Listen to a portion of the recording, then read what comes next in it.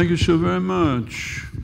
So good to be back in Nashville, Tennessee, and uh, to be introduced by Dolly Parton's husband, Carl Dean, and uh, it's good that her husband has time to serve as mayor. I would think that being married to Dolly would be a full-time thing.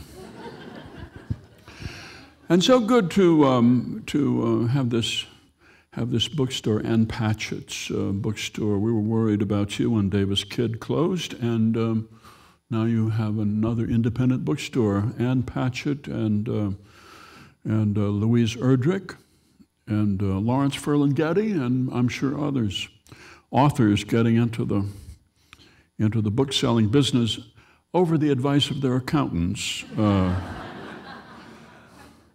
Sort of like, uh, I don't know, sort of like farmers uh, buying yogurt factories or something. but um, good for them. I'm in the um, book business myself back in St. Paul, Minnesota, and that's one good reason to, to publish a book is so that one can support one's bookstore and, uh, and keep it going. This is a collection of, um, of, of, poems, verse um, that I've uh, written over the years, mostly for a Prairie Home Companion. Um, doing a variety show, you do want to have some variety, and, uh, and it's nice to, you know, to swerve out of, out of uh, stories and, and out of music and into into rhymed metrical uh, speech. And, um, and even, even if it's something as simple as uh, there was a, Rep a, a, Republican lady of Knoxville uh, bought her brasiers by the boxful, which she stuffed with corn kernels and old Wall Street journals to keep the fronts of her frocks full. Uh, it's nothing, and uh, it's just a, you know, passing out candy at the at the at at, at the uh, the school. A vegan with nothing to do picked up a sandwich to chew. He took a big bite and cried out in fright, OMG, WTF, BBQ.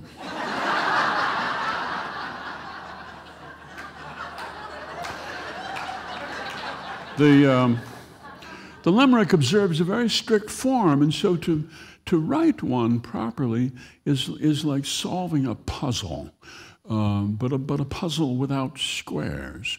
Uh, but, but it, has to, it has to be in the meter, and it's best if the joke come in the last line and not be, and not be given away, as, as, in that, uh, as in that joke right there. I used to do avant garde dance with a blowtorch, blue paint, and no pants, which some people guessed was genius and the rest left quickly when given the chance. not bad, not bad, but not as good as OMG, WTF, BBQ. People just don't expect to hear WTF on public radio. And, uh, and so you have the element of surprise there. I set out, uh, when I was your age, I set out to be a serious uh, writer, of course, uh, because, because, because serious writers were the ones who were, who were held up for esteem by our English teachers, and all writers start out trying to please their English teachers. Some keep trying long after the English teachers have died. Um, but I, but I failed uh, to, to, to, to, to, to go down that road. And the advantage of getting to this advanced age at which I am uh, is that you can look back and you can see how things happened to you. Uh, you can look back at your at your troubled adolescence. All of us were troubled, uh, and and you can, and you can see how you were hoping to, to be a serious artist, which you believed required that you be haunted and, and, and, and, and deeply troubled uh, uh, with, some, some, some terrible wound that you suffered in your, in, in, in your childhood. I imagined when I was your age that I would, that I would die young, like Buddy Holly, like, like, like, like James Dean, like Janis Joplin, and thereby become immortal, as all of them did. They still sell posters of James Dean. He hasn't made a movie in what, 60 years? they still sell postcards. He still, he still is, is, is an idol. I imagined that I would die young and that, and that people would come and, and lay bouquets on my grave and, and mourn me. What a shame, you know, that he, that he never had the chance to realize his tremendous talent, um, which seemed noble uh, to me. Well, it didn't happen, obviously. Uh, it didn't happen, uh, for one thing, because uh, there was never a need for me to charter a small plane in a snowstorm. and, uh, and I never could afford a Porsche like, like James Dean had. And I, heroin was hard to get hold of in Lake Wobegon. And, uh, but more than that, I wasn't, I wasn't sure that I actually had the talent, you see. I, I, I, was full of, full of doubt about that. Other people thought I was talented artistically because I was uh, very quiet and standoffish, and uh, I never made eye contact. Um, and so they assumed that I had some gift. Uh, Nowadays, they would say high functioning end of the autistic spectrum, but, but, uh, but back then, uh, back then they interpreted oddness in a different way, you see, as, as, as, being, as being somehow positive. I went off to the University of Minnesota uh, with, with clear intentions of becoming a serious a serious poet. But as I look back, the serious poems of my time were not what I really liked. I simply felt an obligation as an English major to write essays about how great they were. You see, the, the, the, obligation that a student has to his teachers to follow follow down the correct path. But in my heart, I didn't, I didn't care for um, whose woods these are. I think I know. His house is in the village, though. He will not see me stopping here to watch his woods fill up with snow. Why would somebody stand and watch snowfall? What's the point? In Minnesota, I mean,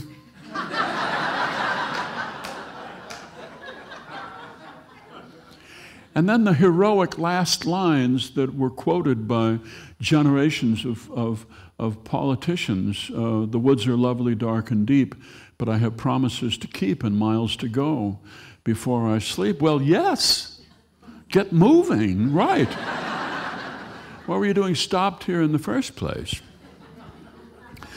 I didn't care for it as much as, as I cared for. Um, for uh, birds do it and bees do it. Even people with bad knees do it. Let's do it, let's fall in love. I, or, or twas many and many a year ago in a kingdom by the sea that a maiden there lived whom you may know by the name of Annabel Lee.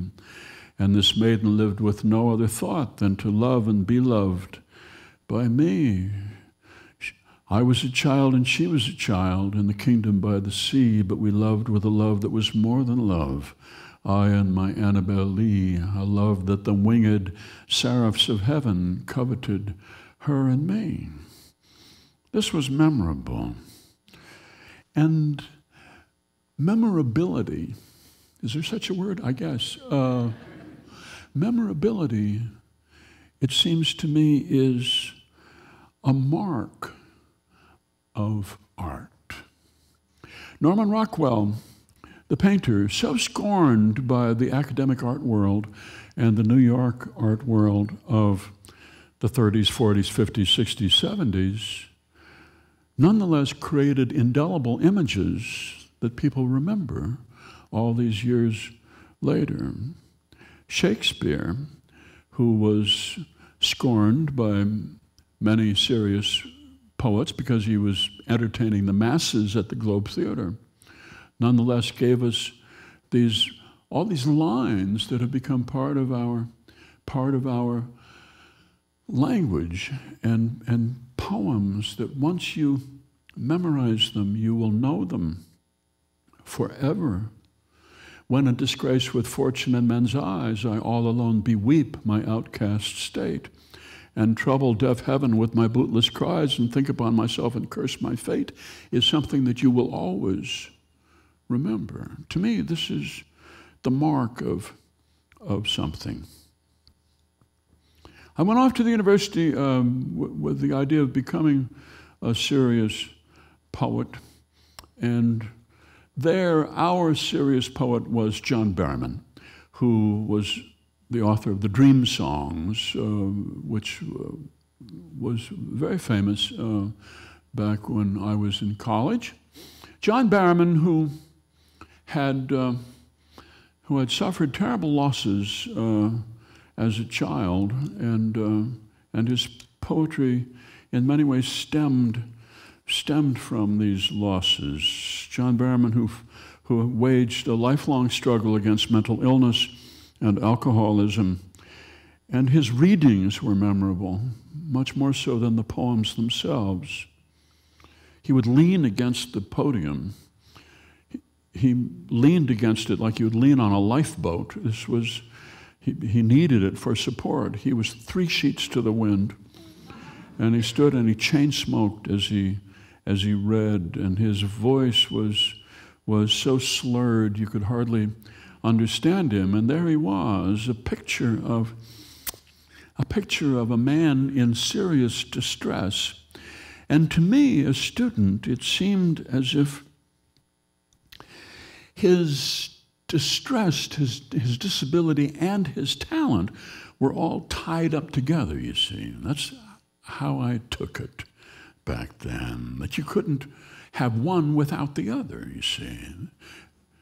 His father had killed himself, had shot himself um, on, on, in, in the yard outside the boy's uh, bedroom when the boy was 12, uh, whereupon his mother went off and married the man uh, she had been sleeping with, uh, an adulterous uh, relationship that was one of the factors in the father's suicide. This is a serious wound to suffer when you are 12 years old. What did I suffer? Nothing compared to that. I mean, my dad made me hoe half an acre of corn and tomatoes. What's that? my people were, were sanctified brethren. They, they, were, they were fundamentalists, and they had, and they had, uh, they had apocalyptic visions of the end of all things, but they were rather cheerful people, actually. because we assumed that we were of the remnant, you know, that would be, that would be redeemed, even, even as the rest of you, you know, would go sliding into perdition. So I fell into writing what's called light verse, verse meant to amuse. Because I do come from cheerful people, and I believe in cheerfulness. I believe in it as, as a choice that a person makes. And that's not to say that illness is to be dismissed, depression, and all the rest, not at all. But even crazy people can be cheerful, and I've known a number of them. I may be one of them myself. His wife said, Please be careful. And he smiled patiently. I know what I'm doing. Don't worry about me. So he buckled right in with a confident grin, and his screwdriver touched a live wire. And he let out a cry and proceeded to die in a shower of sparks and fire. And the people who gave the eulogies spoke of honor and love and ambition.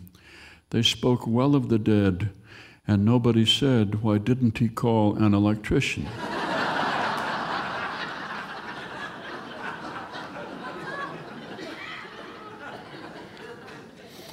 well, now you see, this is a poem that was written about somebody I went to high school with.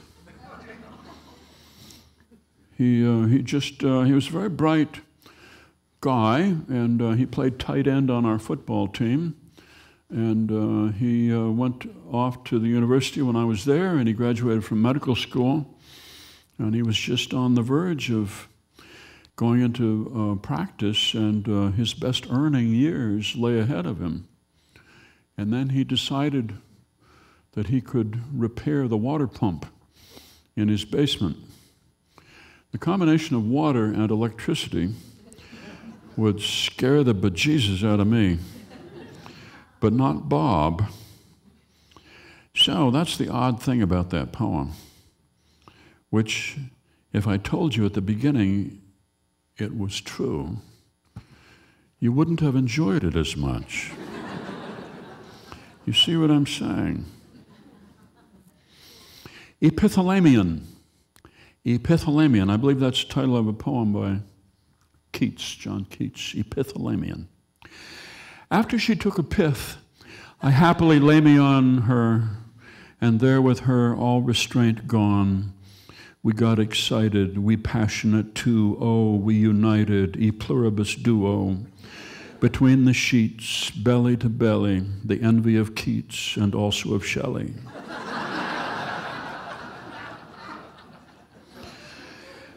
The 17 year cicada crawls out of the ground and looks around from a wall or low hanging limb. He looks for her and she discovers him. Courtship does not extend for months. Their only job is to have sex once. No long interlude of pleasant reminiscing about days gone by. Just buzz and whir and thank you, sir, and then you die. Cicada love does not involve poetry or song. Was it good for you? Thanks. So long.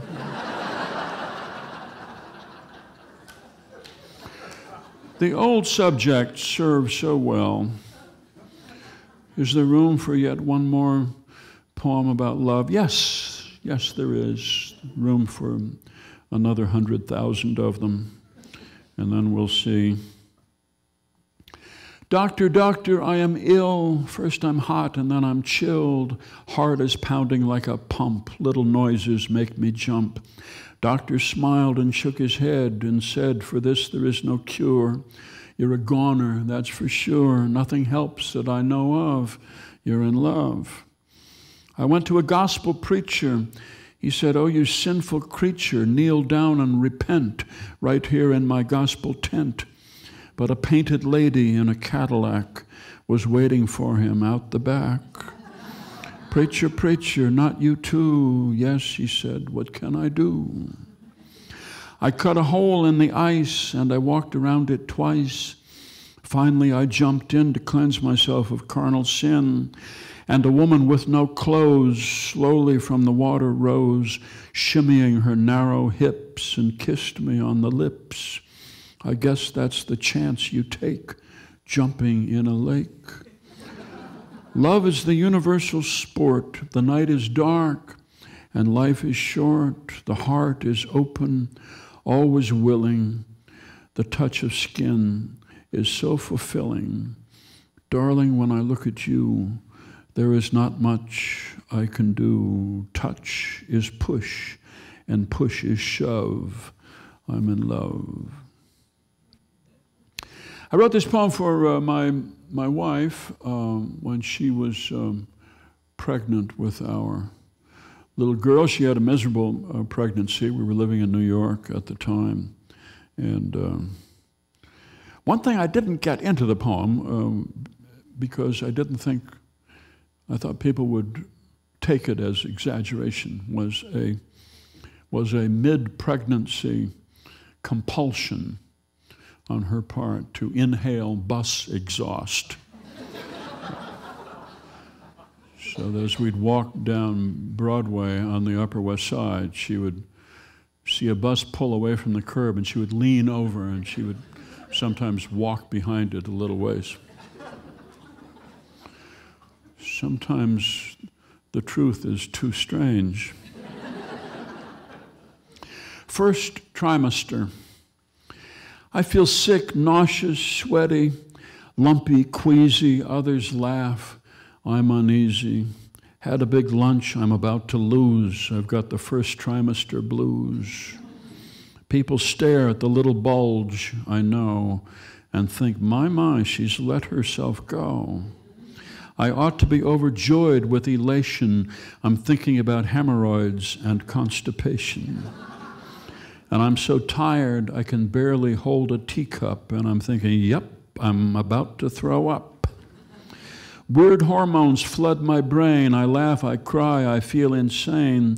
Men stare at me. I say, Hi, mister, I'm not crazy. I'm in my first trimester. No pale blush of motherhood, no bloom. My little belly has become someone's room. I feel fat, and I used to be elegant, slim. My husband says I'm beautiful. Screw him.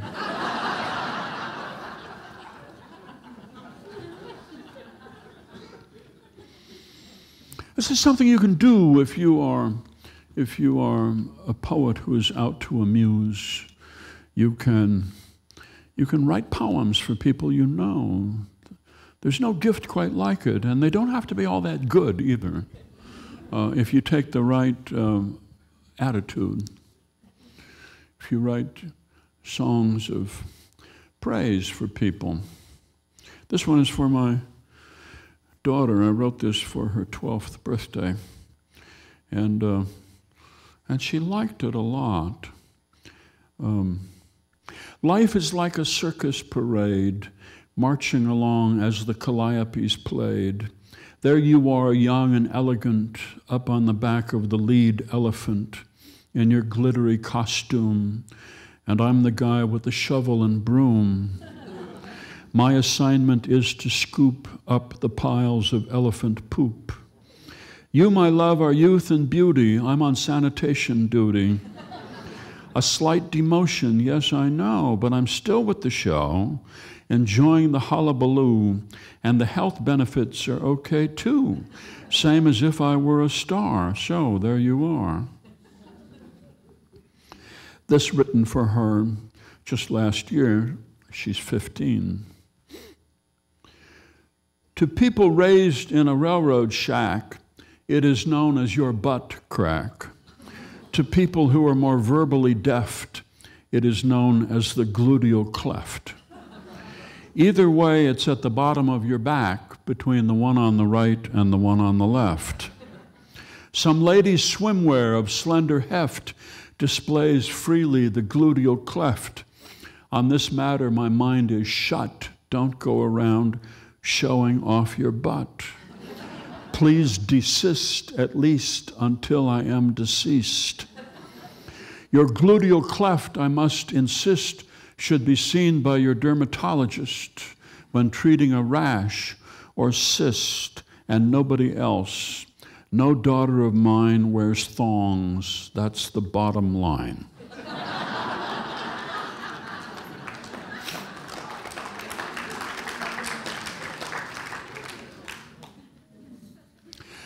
Why is it that in Rossini and Verdi, entertainment is such a rarity? Verdi's Aida goes on for hours. You need a double margarita and two whiskey sours and a double martini for Puccini. Rigoletto, by the time it's through and Gilda's in the bag, I wish I were too. Don Pasquale is not so jolly. Strauss's Ariadne is pure monotony. I sat and yawned through Pelléas and Melisande, and Benjamin Britten wrote the most boring music ever written. And Mussorgsky was modest, of course, because his operas were not good enough, so they bore us. The Ring of the Nibelungs, with all of those goddesses, the braids and the bodices, if they had more feeble lungs, Brunhilde and her crowd wouldn't sing so loud, like someone's been flogging her, someone like Wagner. when Mozart was three, he began to play the clavier. When he was five, he began to compose. When he was 10, already launched on his career, he began to worry about his hair and clothes. Am I cool? He wondered. Is this the wig I should be wearing, or should I have gotten the brunette? Are these knee breeches baggy? Why is everyone staring? I wonder if they'll like my new quartet. Even a genius is full of doubts about his looks and the future and melody and rhythm. And though the audience stands and claps and shouts, bravo, he wonders if anyone would like to go have a drink with him. He and his wife Constanza were not so astute when it came to money. No, not them. So after he'd finished writing the magic flute, he had to get busy on the requiem. He had to pay for their extravagances. So his work was never done serenades and German dances and the piano concerto number 21 to pay for clothes and wine and gelati, and the expense of yet one more infanty composed the Exsultate Jubilate and the Jupiter Symphony.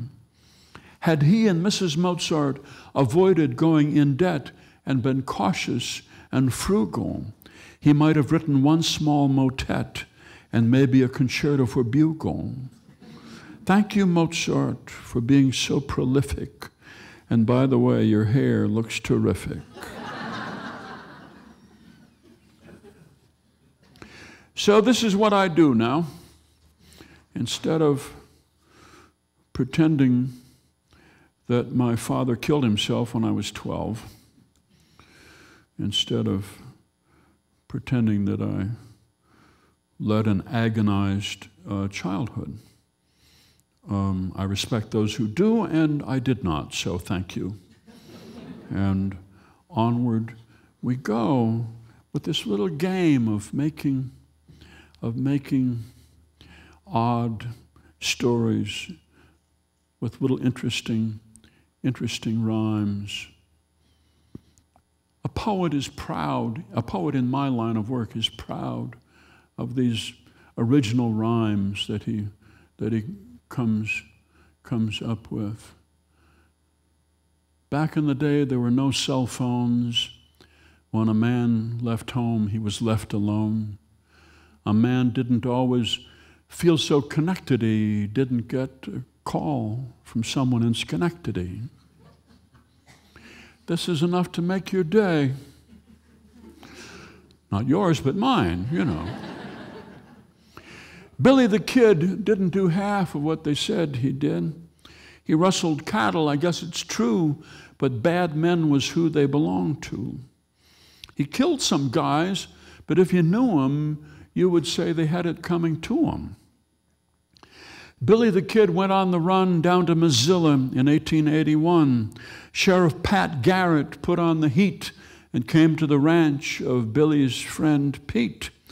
But it wasn't Billy who was shot by Pat, it was someone wearing his boots and hat. Billy the Kid was miles away in Santa Fe with flowers in his hair. I know because I was there. He made a fortune in fermented juices and built a mansion in Las Cruces, changed his name to William Bonney, wrote Way Down Upon the Swanee. And he may have been guilty to a degree, but he was always good to me and generous to my family. Always sent us a Christmas turkey from Albuquerque, chocolate candy from the Rio Grande, and an embroidered pillow from Amarillo. I spoke at his funeral long ago. He was living in San Luis Obispo, big house on the beach. I gave a nice speech. People were impressed. They didn't know he was the most feared outlaw in the West, famous from Las Vegas to Reno. They knew him as Rudolph Valentino. Was Ethel Merman a Mormon? And how about Jesse Norman, General Sherman, or Uma Thurman? Mormon or German? In an enormous auditorium, the former Mormons stood performing stormy weather as warmly as they could. I'm not a Mormon, nor are you. Neither was Harmon Killebrew. The little mermaid used to be. She murmured Mormon once to me. There was a New York doorman and a dorm of sophomore men who adored Marilyn Monroe. Was she a Mormon? I don't know. Our former Erman farmers Mormon, Jorma Kaukonen, Norman Mailer, or Popeye the Sailor, Pee Wee Herman, or Norma Shearer? Was there a Mormon in their mirror?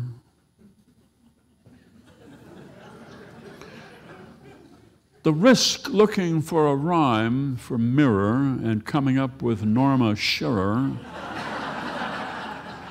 is that nobody knows who Norma Shearer was except for a few students of the old silent movies. But this is just the risk you have to run. Ode to the Women on the mural at the State Theater, Hennepin Avenue, Minneapolis beautiful mural. You can't see it when you're on stage. And I've been on stage at the uh, state many times. In fact, I'm going to be on stage there on Saturday doing a Prairie Home Companion. And um, it wasn't until I went to a dance performance at the state that finally I got to see what was right up above the stage. And then I remembered all those times doing my show at the State Theater when people didn't seem to be looking straight at me. They seemed to be looking up. I thought it was a mood of adoration. and it was, but not of me. Dear naked ladies up in the air, naked girls of the murals, I love your hair. Here it's November, the season of flu. Weather is cold and drear. Nobody's naked here except for you. Had a good summer, though it was dry. I felt mortality reach out for me, time flying by. I go to work at eight, try to write prose. Some mornings it's good, some I wish we could take off our clothes.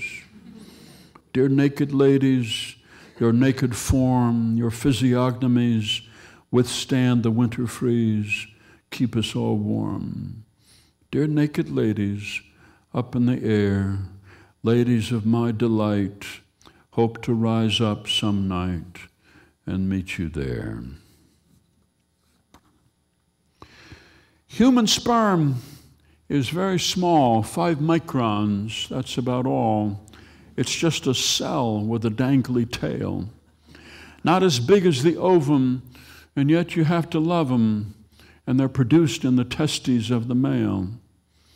Beneath their shiny domes, they contain your chromosomes, and the tail can kick just like a leg.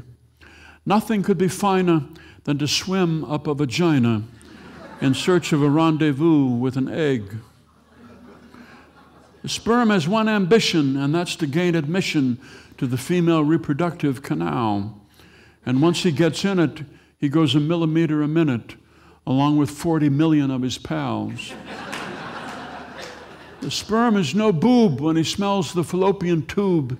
He goes into some crazy figure eights about 10,000 times as those female enzymes keep egging him on to penetrate. The sperm all advance and they do their little dance, but only one gets through the egg membrane. And the union of those two That's what led to you. So be grateful that your dad did not abstain. that old man in the garage once let loose a great barrage.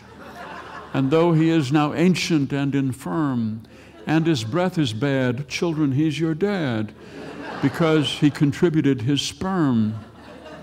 You can get them from a bank or from Jim or John or Frank, but when it comes to fatherhood, there's just one man to thank. He was young and he was dumb, but when things began to hum, he did not withdraw. He became your paw. And that is where we all came from.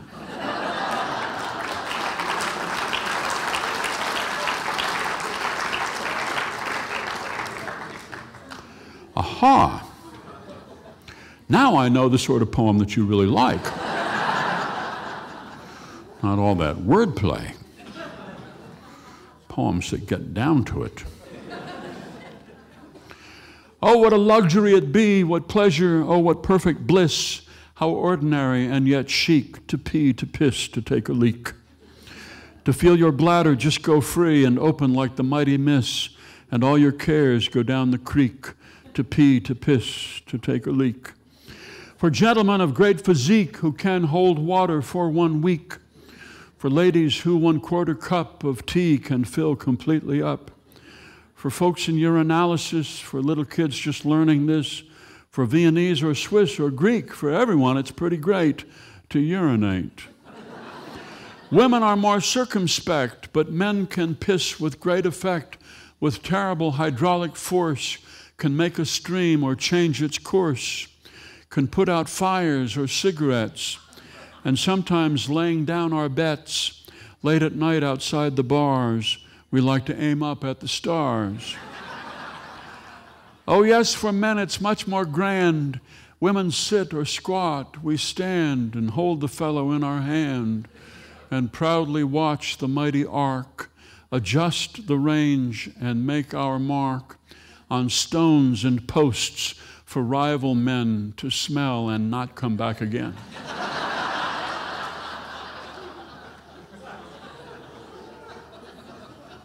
All right, enough of that.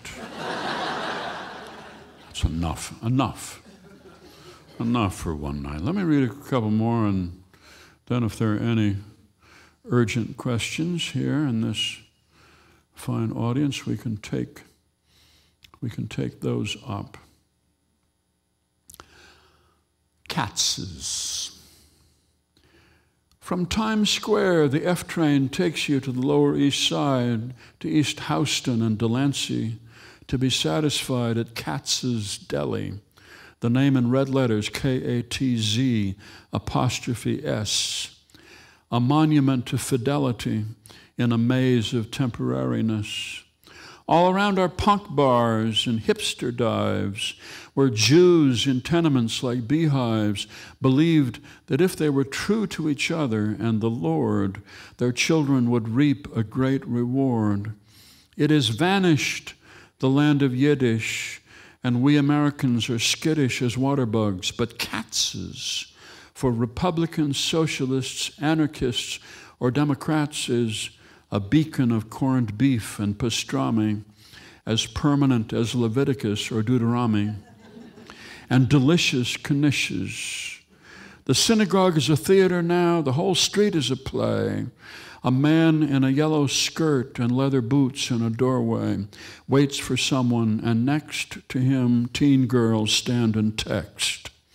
A dude with side swept bangs and skinny tie hangs with a lady in leather with a face tattoo and lip ring, nuzzling and nickering, ten feet from Katz's delicatessen, which offers chicken soup and a lesson in true love and what true means, which is that one can feast on frankfurters and beans if the one who shares your booth is true to you, and that's the truth. Psalm.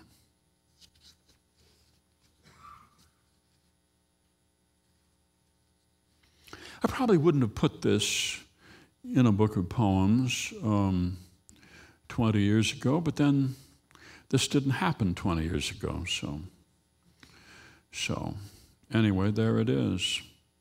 Psalm.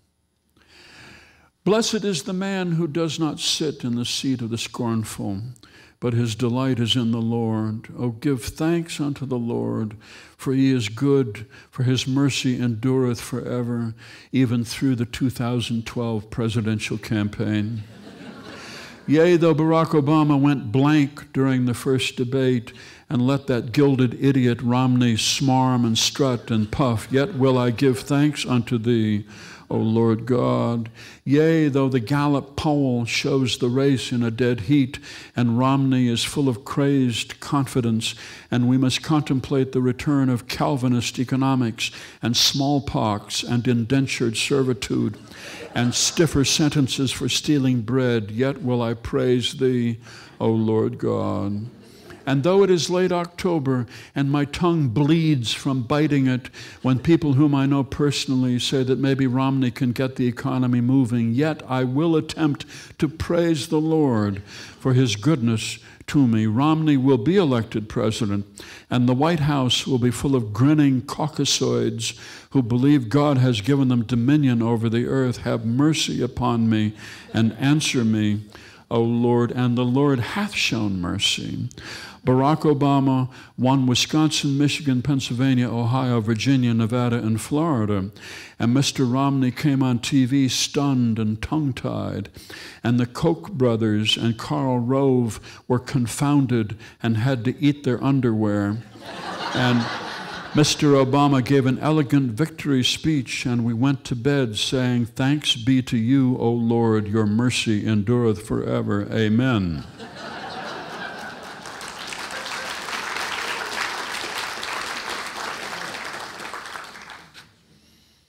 Well, that's what happened, and that's, that's what happened at my house. Anyway.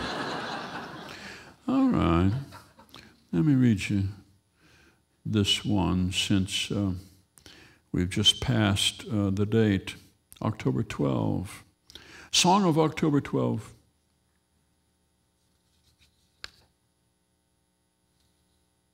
Columbus sailed the ocean blue back in 1492. He sailed across and spotted land, a beach, and people on the sand. He called them Indians because he had no idea where he was. India was just a guess. When in doubt, declare success. Calling this Columbus Day, as if he'd found the USA, you may as well say you're Gershwin because you whistled Love Walked In. Or drop an apple and start tooting your horn as if you were Isaac Newton. Everybody knows the one who got here first was Leif Erikson. He sailed to Newfoundland and Cape Cod and did not come in the name of God to steal the gold and claim the land and evangelize the native band and kill them off with smallpox. He picked some apples, went for walks, traded knives for moccasins, sat down and wrote his sagas in Old Norse, and sailed to Oslo and saw a friend and told him, Yeah, so I just got back from way out west. And the friend said, Oh, yeah, I sort of guessed you were gone. Where'd you go? Oh, off to the New World, don't you know? He could have proclaimed the whole of America belonged to King Olaf. And instead, he shrugged and said, Hey, let October 12th be Columbus Day, whatever. I am totally okay with that. Hip, hip, hooray. And he continued seafaring back home for a plate of herring and a glass of beer to quench his thirst. He knew he got there first, or as Columbus might say, a priori. And as people heard the story, eventually Leif would get the glory. Well, I haven't really done a lyric here, so let me just do one lyric um, called Episcopalian. I'm slow to anger, don't covet or lust. No sense of pride, except sometimes I really must. Episcopalian, waiting around for you. The theology's easy, the liturgy too. Just stand up and kneel down and do as the others do. Episcopalian, saving myself for you. At St. Michael's, we recycle. At St. Clement's, we suck lemons. Morning dawns on great white swans on the lawns of St. John's. There's white folks in black and gay and morose, some male Anglo Saxons, but we watch them pretty close. Episcopalian, saving my love for you.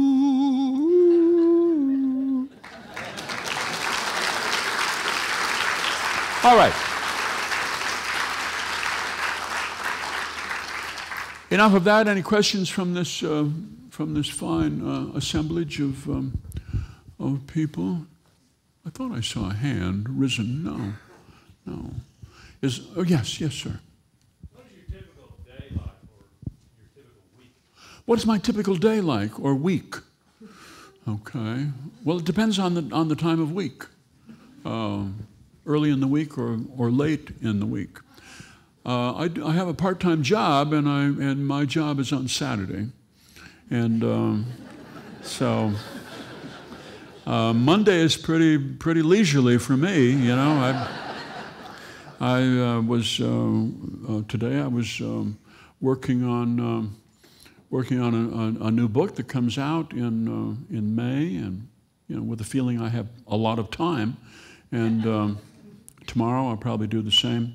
Um, around Thursday, it starts to get a little more intense, and uh, and so I start thinking about. I start thinking about the show on on Thursday because we have a, a rehearsal on Friday night, and so I I should have written some guy noir or cowboys or English majors or something on Thursday. And then Friday, I really have to, because because the, um, the actors are going to be there at the, at the theater. And, um, and so I, I work out with the band and I, and I, um, and I you know, go through some songs, uh, whatever I'm going to do. And then uh, the actors are there, and we go through whatever scripts I've, I've written. And um, almost inevitably, everything just sounds really trashy to me. It just, you know, it's really discouraging. But you've, but you've heard it once, and, and, and that's helpful. And then from, from disaster, then you can rewrite on Friday night, complete rewrite. And, um, and so I send that by email to um, our, our script person, Ella, uh, in, the, in the morning, Saturday morning, and then I need to start thinking about uh, the news from Lake Wobegon, and, uh, and so that's a righteous um, morning. Um, you know, I want to, um, I want to make some notes and, um, and, uh, and you just, you, you just, you just have to lock yourself in a room and just do it, you know, and, and force yourself to think. And, and there's some little opening that occurs to you, something that you remember from the week. Everything comes from the germ of, of, of actual uh, events, everything in fiction, I think. And, and from that, then you, then, you, then you can open the door uh, to, to, to, a whole story. Um, and if you don't get a whole story, uh, you know, after all these years, you've learned to fake it. And, uh, and you've learned to incorporate things that you did um, years ago will, will come back to you. you. In dire need, you can always go back and tell the story of the 25 Lutheran pastors on the pontoon boat. um, and then and then on Saturday, uh, you know, you go down to the theater and a lot of people there, and it's very busy, and you you meet your guests, and you and and you you know you work on all sorts of things, just nonstop. It's very lively and and friendly and cheerful, and uh, and when the show goes on the air, then that's when you have fun. The, the, the rest of it leading up to that is not that enjoyable necessarily. And, and then you do the show in this sort of exhilarated mood. And then after the show, uh, don't take it the wrong way, but after the show, um, there, there, is, um, there is this feeling of shame and, and humiliation. Uh, I mean, I was brought up for this, you know. I was, I was, um, you know, brought up to uh, believe that man is inherently corrupt and, uh, and, that, and that nothing we do on our own is worthy in God's sight. And so, and so shame and humiliation follows, and, and, but it only lasts for a little while.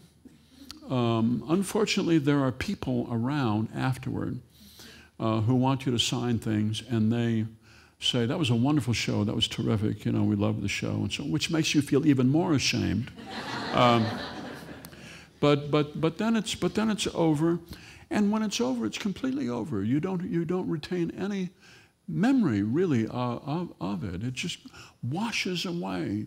And Sunday, Sunday morning, uh, I get up, if I'm um, back in St. Paul, I get up and uh, I go to my Episcopal church and uh, and, you know, I kneel down in this sort of narrow pew that was made for small people of the 19th century. And, uh, and I, you know, and I beg forgiveness for, you know, for what I have done and for what I have left undone. Um, combination of both, really. And, uh, and then it's all, it's all gone. It's all gone. Short term memory loss is really the secret of. Uh, of this, of this line of work and maybe, and maybe other lines of work as well. You, you don't want to hold these things. There is no staff meeting following the show at which we go over the show and critique it. A critique would kill me. It would just, it would lay me out. No. You just finish it and it's done. Yes, sir.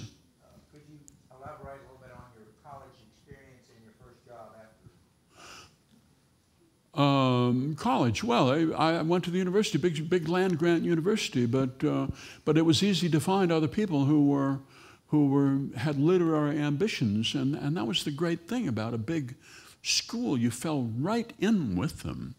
Um, the English department at the university was probably the most uh, alcoholic English department in America. I mean, they were sauced, you know, by, by early afternoon, they'd all had, had heavy martinis and scotch and sodas, and they were chain smokers, all of them. They smoked in the classroom. We had little tuna fish cans for ashtrays, and everybody, everybody smoked. It was required, you know. Um, so, you know, there was, there, was, there was that. You know, you picked up, you picked up a certain tinge of, of self-destructive behavior but, um, but they were deeply, deeply in love with, with literature and with, and with words. This was before the, the politicization of, of the English department, you know, and, and, uh, uh, and before deconstruction. And uh, so, so it, was, um, it was a cheerful place. My first job uh, was at a radio station. It was a student radio station. Um, that broadcast closed circuit to the dormitories. And because I had a crush on a girl who lived in the dormitory, that's what inspired me to go down and get a job at the student station. Um, I wanted to get the late night jazz uh, shift, but there was a cooler guy who got that. And um, and what they gave me was the, was the 12 noon newscast, a 15 minute newscast, which I edited uh, myself from the Associated Press wire.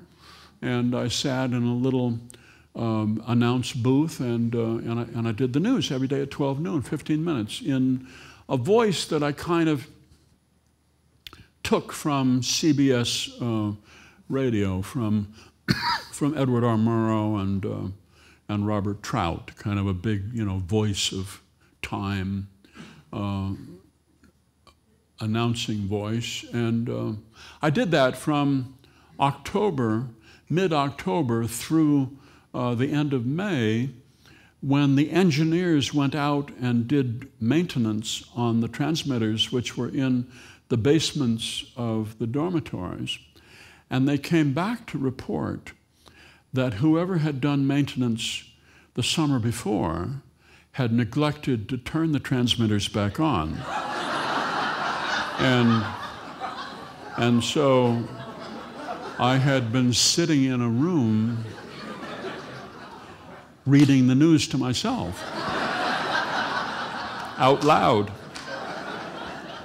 And now I understood why she was not impressed. Uh, nowadays, you know, that would just kill you. It would just, would, you, would just kill a person. But, but back then, you know, when you're, when you're 18 years old, you just bounce back. You just, you know, you go out and have a couple beers with some people and, uh, and you're okay. That's how I started out in radio, by, by talking to myself. Yes, sir. I know you occasionally bring your show to Nashville, and you seem to have a lot of country and bluegrass music on your show. Are you a fan of country and bluegrass? I think I am, but I think, um, I, th- I think that um, a person a person loves music that you hear at a certain stage in your life. And, and your tastes kind of stay fixed there. And, and, and so um, my taste in country music is, uh, is, is back, I don't know, back in the 70s somewhere. Um, I thought that I thought that whenever Dolly and Porter sang duets, that that was sort of the epitome of something. And uh, and I liked some of those old songwriters. I loved uh, Waylon Jennings. Uh, um, but but but I think today's music, I'm not so sure. I'm not so sure. I think a lot of the performers, I think a lot of the more traditional ones, Emmylou Harris, I think Vince Gill is just one of the greatest people I ever met in my life. Um, and um, but bluegrass, yeah, yeah, but but but not necessarily the kind that uh, you know the kind that I hear on the on the radio. It's really family band music, and uh, I like these these uh, family bluegrass bands that do a lot of gospel and and uh, have a sense of relatedness about them. I have odd taste. Yes, sir. How do you, how do you teach creativity to younger children or to even people who are in college to have the, the kind of variety and breadth of creativity that you have some very serious, some very funny, Hmm. some poetry, some stories, some humorous, some essay? How, how do you, how do Hmm. you teach that kind of breadth of creativity? How do you teach uh, creativity is the, uh, is the question. I don't think that I would, really. I think that uh, creativity is something that sort of bubbles up inside people and they have some need to, to, uh, to invent. And who knows where that need comes from. But if somebody, if somebody comes to me and wants to write, uh, I tell them, as I told my classes, my writing classes uh, that, I've, that I've taught, I, I tell young people uh, to go talk to your parents and uh, go talk to your grandparents if you're lucky enough to still have them around. And uh, look into your own family history, which has been uh, hidden from you. Believe me, you have not been told. and uh, you will have to be persistent to, uh, to, to gather this information. You really have to be persevere. And, and uh, at first, they will be flattered that you ask, and then they will be alarmed. But, uh, but, to, but to learn your own family's history and find out where you come from is a creative act. uh, they created you, and uh, and then for you to go back and to and to find out what were the circumstances. What year were you born? 85, 1985. A lot was going on in 1985, and with them too. So, so what was uh, what was the story there? Where are you in your family? Where am I? Yeah, I'm the second. you're the second oldest, and how many follow you? I have three. Aha, so you are a middle child. You are the second of five. Aha. You look like a middle child.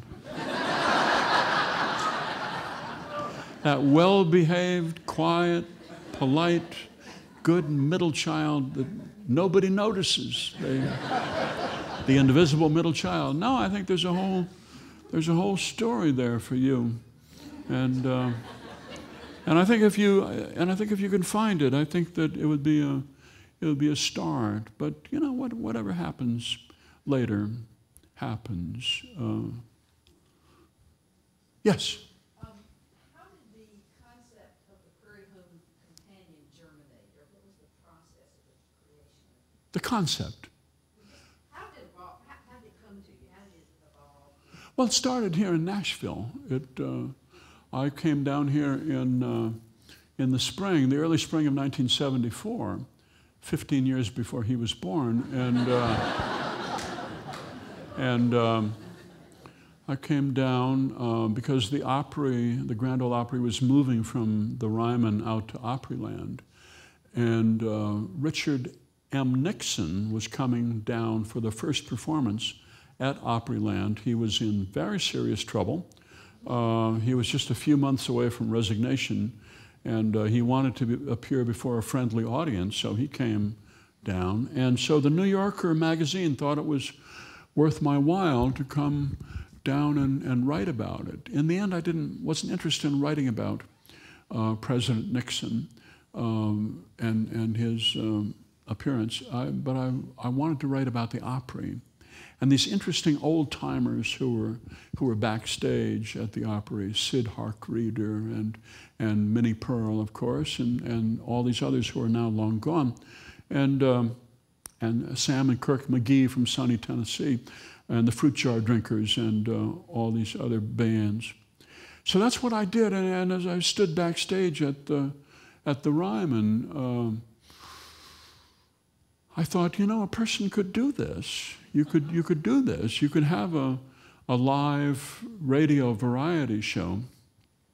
I would have more comedy than, than the Opry did, but a, a live variety show, and you could do this with other kinds of music and do it up in, up in uh, St. Paul, Minnesota. So I did. Back in the early days of public radio, before it began to be so organized, you know, and, and when stations were just small bunch of amateurs, uh, before they brought in all of these vice presidents and, uh, and, uh, and uh, project managers and uh, and before people in public radio uh, started using words like proactive. Um,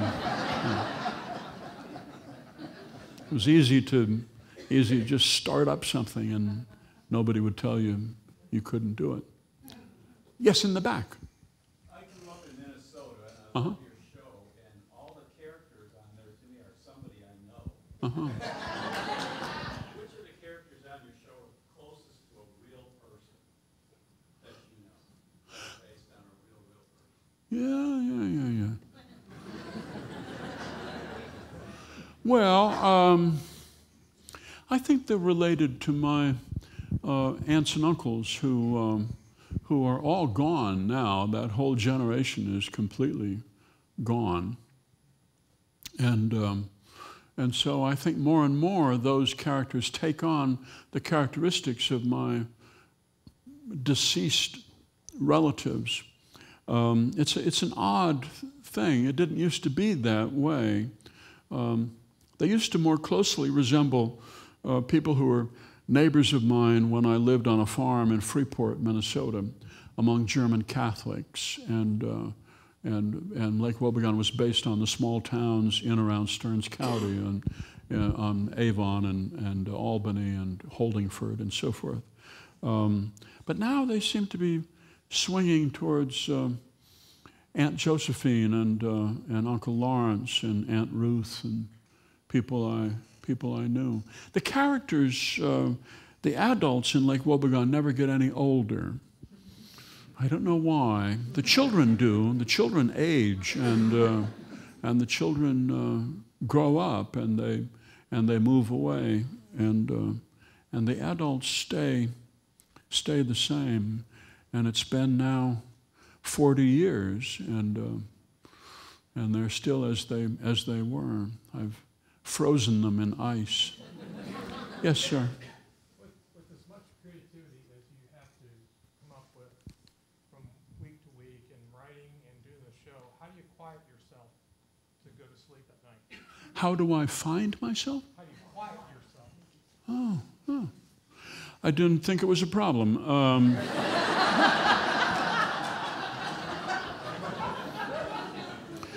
I think it's just basically fear, you know, fear of fear of uh, humiliating yourself, and uh, and uh, I I just never I never wanted to be a fool in in public. I was I was brought up with a very high sense of decorum, and uh, so I'm sort of suited to the radio uh, in, in in a way. Um, I've never um, found it possible to, to uh, be obscene on, on the radio. No, it's just it's never been a problem. I mean, writer's block is, is, is, for, is for other people. It's for people who are more ambitious than I am, you see. writer's block is a, is, a, is a sign that you're trying to do something you can't do. And I respect that, but I don't do it myself, you see. I don't, I don't follow that, that, that way of life. I, I am one of the few writers uh, you will meet um, who will admit to you that I do this for fun. And uh, I don't suffer over it. I haven't, I haven't suffered over it, I think, I don't know, since I was in my 20s when, you know, when I, when I thought suffering was part of the deal.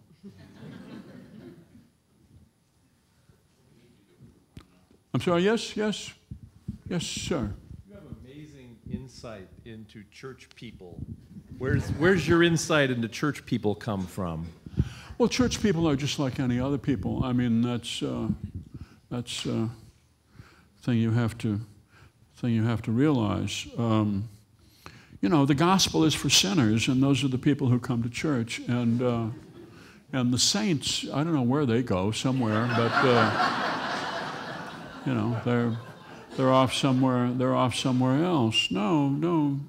There's just there's a lot of human nature in everybody, uh, including including church people. If you if you are a perfectionist, you know, if you demanded perfection, uh, which I don't think God does. Um, you know, you should go into calligraphy or go into uh, mechanical engineering, uh, but you don't, you wouldn't want to go into church work. It's, it would drive you, drive you berserk if it has no. Yes.